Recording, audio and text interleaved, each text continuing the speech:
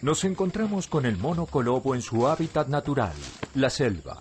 Aquí vemos que se está subiendo a un árbol y se acomoda en una rama para... ¡Comer una banana! Eh, no, era para poder saltar hasta otro árbol y estar a la altura ideal para... ¡Comer una banana! No, no, era para encontrarse con otro mono y entonces... ¡Pedirle una banana! No, tampoco. Era para quitarle los piojos. El mono colobo se alimenta de hojas, insectos y frutas. Conoce mejor con quién estás compartiendo el mundo.